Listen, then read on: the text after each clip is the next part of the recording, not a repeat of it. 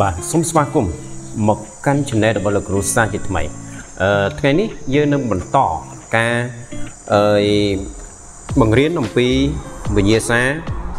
ប្រឡងបាក់ឌុបថ្នាក់វិទ្យាសាស្ត្រតទៅទៀតដែលវិញ្ញាសាទី1យើងបាន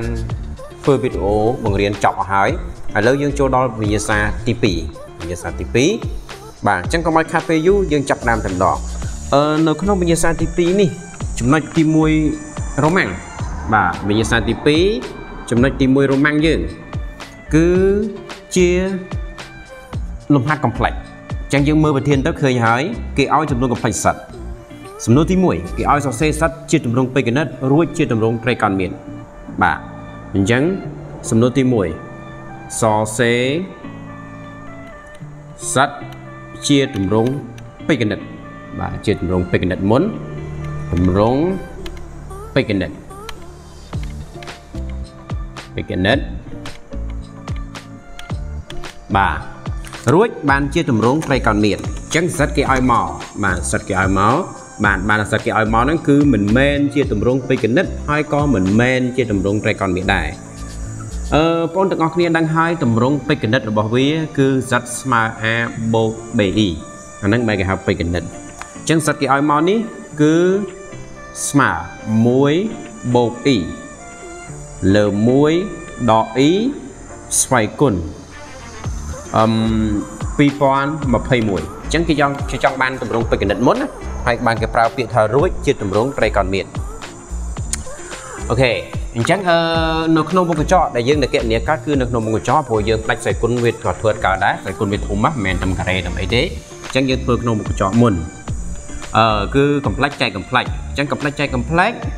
យើងរៀនមកគឺត្រូវតែយកភាគយកនិងភាគបែងគុណ complex ឆ្លាស់នៃភាគបែងបាននេះជាប្រមាណវិធីវាអូខេអញ្ចឹងអឺខ្ញុំយកភាគយកនិងភាគបែងគឺ1បូក e លើ1ដក e នេះគុណនឹង complex ឆ្លាស់នៃភាគបែងអញ្ចឹងឆ្លាស់នៃភាគបែងគឺ1បូក e អាហ្នឹងហៅឆ្លាស់នៃភាគបែងអញ្ចឹងក្រុមគុណអីលើគុណហ្នឹងណាបាទឆ្លាស់ជាមួយនឹងភាគបែងចាំមកច្បាស់នៅកន្លែងហ្នឹង ហើយស្វ័យគុណ2021ដដែលអូខេហើយយើងចាប់ផ្ដើមមើលទៅអានេះវាដូចគ្នាចឹងកាលណាគុណគ្នា គឺវាអាចលើកជាការ៉េកើតហើយអាក្រមឆ្លាស់គ្នាអញ្ចឹងបើឆ្លាស់គ្នាវាចេញ a ការ៉េដក b ការ៉េហើយនៅក្នុងស្បៃគុណ2021ដដែលអូខេបន្តមកយើងពលៀតវាទៅចូល a បូក b លើកជាការ៉េស្មើ a ការ៉េគឺ1ការ៉េបាន1 បូក2ដង a b គឺ 2e បូក b ការ៉េគឺបូក e ការ៉េបាទហើយអាក្រោម1ការ៉េបាន1 e ការ៉េស្មើដក1ប៉ះជាមួយដកចេញបូក1វិញ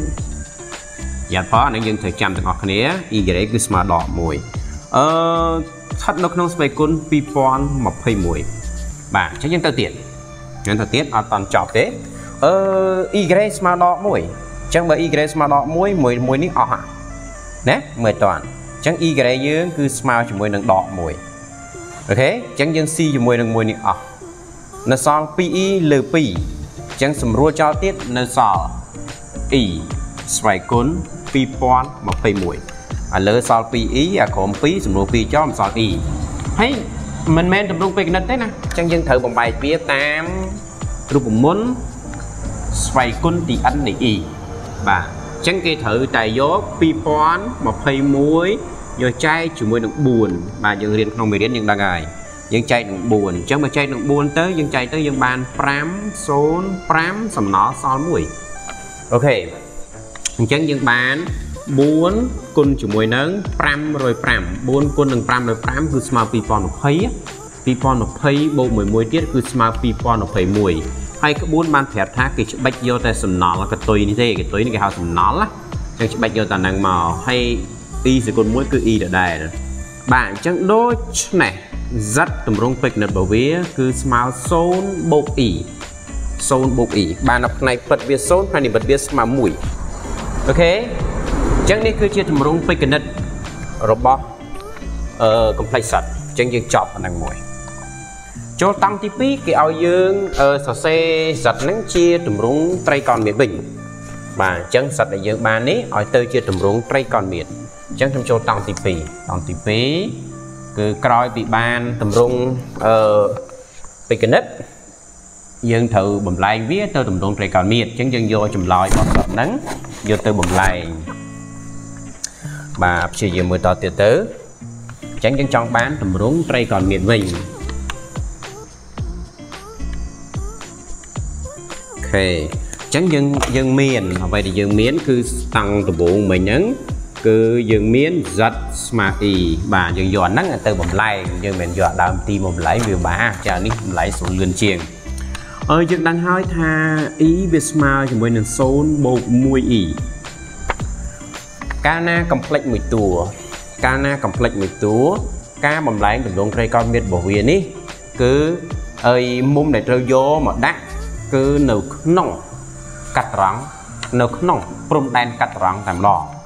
បាទព្រំដែនកាត់ត្រង់តែម្ដងណាមើលតើចឹងកាលណាមានតែផ្នែកនិមិត្តមានតែផ្នែកនិមិត្តគេត្រូវតែមើលទៅលើអនិមិត្តបាទព្រំដែនកាត់ត្រង់គឺមាន4កន្លែងកន្លែងនេះ0មកដល់កន្លែងនេះផាយឬ2ហ្នឹងគេហៅព្រំដែនកាត់ត្រង់គេអត់មើលសញ្ញាកុសសញ្ញាស៊ីនទេផាយហើយកន្លែងនេះ 3ផាយឬ2មកដល់នេះវិញ2ផាយបាទអញ្ចឹងអកុសគេឲ្យឈ្មោះថាអពិតអពិតហើយអសិនគេហៅថាអនិនិមិត្តតោះណាអញ្ចឹងកាលណាមានតែផ្នែកនិមិត្តសត្វយើងមានតែផ្នែកនិមិត្តទេណាបើមានតែផ្នែកនិមិត្តគឺគេមើលតែលើអនិមិត្តមួយទេអូខេអញ្ចឹងយើងមើលផ្នែកនិមិត្តមើលអនិមិត្តមើលអនិមិត្តណាតើផ្នែកនិមិត្តវាប្រមាណ បើផ្នែកនិមិត្តវាលេខ1អញ្ចឹងលេខ1វិជ្ជមាននៅលើបើដក1នៅក្រោមបើ1លើអញ្ចឹងគេយកមុំផាយលើ2បាទមុំដែលត្រូវយកគឺផាយលើ2ចឹងយើងដាក់ទៅកូសផាយលើ2បូកអ៊ីស៊ីនផាយលើ2បាទនេះខ្ញុំសូមជម្រាបថារបៀបយកមុំនៅពេលដែល complex វើងវាជាចំនួនពិតសត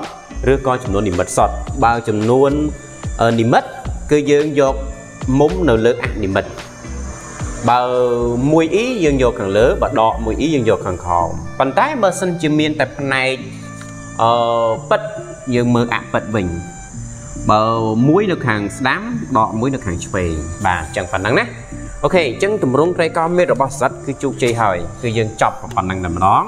ចំពោះសំណួរទី1បាទអញ្ចឹងអឺដូច្នេះសិតទម្រង់ត្រីកោមេតចេញមកបាន អើយទៅទៀតយើងចូលដល់សំណួរ no no no no តាន់ចូលសំណួរទី2ទេសំណួរទី1អដែលណាសំណួរទី1អដែលគឺរកចំនួនពិត mx និង y បើសិតសេគុណ2020ស្មើបើសិតស្វ័យគុណ2020ស្មើ1បូក 2e អឺគុណជាមួយ x ដក2ដក 3y អា 3e គុណនឹង y អូខេអញ្ចឹងយើងត្រូវរកសັດសេគុណ2020ហ្នឹងឲ្យវាទៅជាតម្រង់ពេកណិតអញ្ចឹងដោយសារតម្រង់ពេកណិតរបស់សັດគឺវាស្មើ e យើងវាស្រួលគិតបើសិនជាវាអើយមែន e បានថាវាតម្រង់វា a បូក b e ពេញលេញណាអញ្ចឹងបើ a បូក e ពេញលេញអាហ្នឹងគឺយើងយកសັດត្រីកោណមៀតវិញយកមកប្រើគឺយកមកលើកដល់សេគុណ2020ហើយតម្លាក់តាមទៅមកអាណាឥឡូវគឺយើងចង់ប្រើមួយណាក៏បានដែរប៉ុន្តែគ្រាន់ថាប្រើនេះគឺងាយជាងតែបន្តព្រោះព្រោះកាលណាមានស្វ័យគុណគឺតាក់ទងជាមួយនឹងទម្រង់ក្រេកោតមៀតបានអាចតម្លាក់ចុះកើតបើយើងយកពេកណិតយើងអត់តម្លាក់ទេគឺគិតតែម្ដងអញ្ចឹងដោយសារវាមួយតួអញ្ចឹងបើមួយតួខ្ញុំយកខាងនេះយកយកយក e មកប្រើមកបងទៅ បាទហើយយើងយើងចង់រនេះក៏យកទៅស្អែកចិត្តយើងនេះអូខេអញ្ចឹងវាសមមូលជាមួយនឹង e ស្វ័យគុណ2020ដោយសារសិតយើងគឺវាស្មើនឹង e ដល់បន្តហើយអានេះគឺយើងត្រូវគុណពលិតវាឲ្យផ្ដុំឡើងវិញគឺផ្ដុំពិតផ្ដុំវាមិនផ្ដុំឡើងវិញអញ្ចឹងវាស្មើស្មើអីគុណបញ្ចូលមកយើងបាន x បូក 2xe ដក 2y បូក 3y e បាទហើយយើងផ្ដុំមក e បែកគ្នាវាទៅអាលេខសុទ្ធម្ដុំទៅ e សេគុណ2020វាស្មើជាមួយនឹងដូចមុនដែរអឺវាស្មើជាមួយនឹង4គុណជាមួយនឹង5.5បូក0បាទហើយយើងច្បិចយកកន្ទុយ0តើនេះផ្ដំឡើងវិញមកផ្ដំពិតម្ដុំវិញមកនេះស្រួលផ្ទឹម ហើយ 2xe យើងដាក់ក្បែរបូក 3y e ហើយយើងផ្ដុំវាចាប់ e ជាកតាអូខេហើយអាខាងដើមនេះគឺយើងច្បិចយកតែកតុយសំណល់ទេបាទអង្គទី1នេះយើងច្បិចយកតែកតុយទេអញ្ចឹងវាស្មើជាមួយនឹង e ស្វ័យគុណ0ណាហើយអានេះយើងទៅសេឡើងវិញមកអូខេបូកជាមួយនឹងខ្វេះ e ចេញក្រៅមកអញ្ចឹងនៅសល់ 3 2x 3y កតាឲ្យ e បាទអញ្ចឹង e សេគុណ0គឺស្មើ1 e សេគុណ0ស្មើ1ប្រហែលដល់សេគុណ0ស្មើ1នោះដែលលឿនណាអឺហើយយើងផ្ទឹមមួយផ្លឹបតែម្ដងទៅបញ្ហា no problem បាត់អស់ហើយអញ្ចឹងផ្ទឹមផ្ទឹមនឹងបានថាពិតស្មើពិតនិមិត្តស្មើនិមិត្តខាងនេះផ្នែកពិតគឺលេខ1អញ្ចឹង x ដក 2y ស្មើ1ដល់ខាងនេះនិមិត្ត 2x បូក 3y កុំយក e មកអឺខាងនេះអត់មានផ្នែកនិមិត្តទេអញ្ចឹងបានថាផ្នែកនិមិត្តវា0ហើយអូខេអញ្ចឹងយើងបូកមិនដាច់ដកគ្នាក៏មិនដាច់ធ្វើម៉េចបាត់អសមួយអញ្ចឹងដល់យើងគុណថែមអញ្ចឹងយើងគុណថែមអាណាគុណនោះសាច់ចិត្តយើងទេអឺខ្ញុំគុណជាមួយនឹងអើយដក2ឥឡូវគុណដក2អញ្ចឹងប្រព័ន្ធយើងចេញថ្មីហើយចាំយើងបូកបាត់ហើយគុណដក2យើងបានដក2 ដក 2x បូក 4y ដក2ហើយអាក្រមមកដែលពួកយើងគុណ1ទុក1អូខេអញ្ចឹងយើងបូកយកតែម្ដងអានេះអស់ហ่ะយើងវិធីបូកបំបត្តិអាញាត់អញ្ចឹងនេះយើងបាន7 7y ស្មើដល់2អញ្ចឹងនាំមក y ស្មើដល់2លើ7បាទអញ្ចឹងយើងបានតម្លៃ y យើងយកចំនួនចូលនៅក្នុងសមីការ1ឬក៏សមីការ2សេចក្ដីយើងទេក្នុងការរកតម្លៃ x មួយទៀត អឺហឺអញ្ចឹងខ្ញុំយកចំនួនទៅណាយកអឺ y ស្មើដល់2លើ7យកទៅចំនួនក្នុងសមីការ1ដើម្បីរក x ក្នុងសមីការ1អញ្ចឹងសមីការ1យើងគឺ x ដក 2y ស្មើ1អញ្ចឹងទៅជា x ដក2គុណជាមួយនឹងដក2លើ7ហើយស្មើ1អូខេអញ្ចឹង x បូកជាមួយនឹង4លើ7ស្មើ1រុញចេញវឹងអញ្ចឹងបានដូរអង្គដូរសញ្ញាតម្រូវភាគបែកវាផ្លាប់មក7ម្ដង7 7ដក4ចេញសល់3ដូច្នេះអា x ស្មើ3លើ7 y ស្មើដក2លើ7បាទនេះគឺជាតម្លៃ x និង y ដែលយើងកំណត់បាន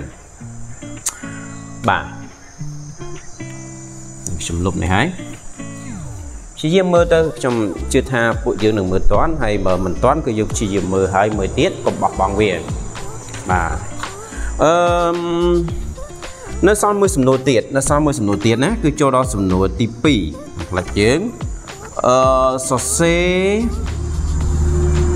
អឺ z បូកឬ3លើកជាក្រេជាតម្រងត្រីកោណមៀតរួចតម្រងពេកណិតអញ្ចឹងយើងដឹងថាណាមុនណាក្រោយ អញ្ចឹងគេឲ្យសេតម្រងត្រីកោណមៀតមុន ជាតម្រងត្រីកោណមៀតបាទរួចជាតម្រងពេកណិតអូខេដាក់អាសំនួរនឹងចូលឲ្យហ្មងទៅរួចជាតម្រងពេកណិតបាទអញ្ចឹងយើងដឹងហើយកាលណាគេប្រើពាក្យរួចអញ្ចឹងគឺយើងត្រូវទៅសេអាពេកណិតត្រីកោណមានមុនហើយបានពេកណិតតាមក្រោយអញ្ចឹងឥឡូវឥឡូវនេះចាប់ផ្ដើមណាសិត បូកជាមួយនឹងរឹស3លើកជាក្រេអានេះត្រឹមលើកជាក្រេទេយើងត្រូវយកសិតយកមកប្រើយកសិតយកមកប្រើឲ្យមកហើយអឺយើងមានសិតយើងស្មើ e អូខេសិតយើងស្មើ e ណាអញ្ចឹងនាំឲ្យ z បូកឬ3ស្មើអឺ e បូកឬ3 បាទធម្មតា complex គេដាក់ពិតនៅខាងមុខអញ្ចឹងខ្ញុំដាក់លើកវាខាងមុខជាងមកហើយតែមានឬ3យើងត្រូវចែក2អញ្ចឹងយើងត្រូវទៅសេត្រីកោតមានមុនណាបាទសេត្រីកោតមានពីមុនអញ្ចឹងយើងយើងបើចែក2យើងត្រូវចាប់2ជាកតាទៅចាប់អីចែកហ្នឹងបាទក្នុងរង្វង់យើងគឺរឿង3លើ2អញ្ចឹងយើងត្រូវចែក2ចាប់2ទៅចែក2ហើយនេះមេគុណវាគឺ1អញ្ចឹង1លើ 2e បានយើងញាត់កុសញាត់ស៊ីមចូលផ្លឹបទៅយើងបានតម្រងត្រេកោតមៀតសិតបុកឬ3ប៉ុន្តែតន់ជោគជ័យយើងសួរអាការ៉េទៀតអ អញ្ចឹងអឺប្រាក់ក្បាច់ដែលយើងរៀនមកគឺកូសដែលស្មើជាមួយផាយលើ3ឬ3លើ2គឺផាយលើ6បូក e sin 1លើអផាយលើ6 e អូខេអញ្ចឹងអានេះទម្រង់ត្រីកោណមៀតរបស់សិតបូកឬ3ចាំតបមកយើងយកអាសិតបូកឬ3ហ្នឹងយកទៅលើកជាការ៉េលើកជាការ៉េហើយតម្លាក់ការ៉េចុះមកបាទជោគជ័យបាទហើយហឹម អញ្ចឹងទៅទៀតទៅទៀតទៅទៀតទៅទៀតអឺអញ្ចឹងនាំឲ្យសិតបូកឬ3លើកជាការ៉េអញ្ចឹងខ្ញុំចាប់ដើមយកអង្គទី2លើកជាការ៉េដែរអង្គទី1លើកជាការ៉េអង្គទី2លើកជាការ៉េបូក e sin ហើយលើ6ហើយលើកជាការ៉េដែរហើយតម្លាក់ការ៉េចុះអញ្ចឹង2ការ៉េយើងបាន4ហើយការ៉េនោះត្រូវដាក់ ពីមុខមុំនេះតាមរូបមន្តម័អញ្ចឹងបើយើងយកការ៉េដាក់នៅពីមុខមុំទៅយើងអាចស្រួលបាទស្រួលបានតទៀតអឺអញ្ចឹងទម្រង់ត្រីកោណមៀត1ចេញមកហើយបាទតម្រងត្រីកោណមេប្រវាគឺស្មើ4កូអានេះសម្រួលទៅបានផាយលើ3បូក e sin ផាយលើ3 អូខេអញ្ចឹងនេះជាតម្រងត្រីកោណមានមួយតម្រងត្រីកោណមានមួយហើយឥឡូវយើងចង់យកអាហ្នឹងទៅទៅពេជ្រគណិតអញ្ចឹងបើវាទៅពេជ្រគណិតសេចចិត្តជាងទេគេអត់មានសំនួយថាទៅនេះទេបងឯងចង់យកអានេះអ៊ីដាក់ចូលឲ្យផលិតវាទៅក៏បានឬក៏យើងយកអានេះមកបំលែងទៀតក៏បានបាទឥឡូវខ្ញុំយកអានេះបំលែងតទៀតណាបាទអញ្ចឹង z បូកឬ3លើកជាការ៉េស្មើ4កតាកូសផាយលើ3កូសផាយលើ3គឺស្មើ1ភាគ 2 e sin ផាយលើ3គឺ e ឬ3លើ2បាទតម្លៃមុំពិសេសទេគុណ4បញ្ចូលបានថាពេជ្រគណិតអញ្ចឹងគុណ4បញ្ចូលសម្រួល2ចោលបាត់នៅសល់2គុណ4បញ្ចូលសម្រួល2ចោលបាត់នៅសល់2ឬ3 e បាទនេះហើយជាទម្រង់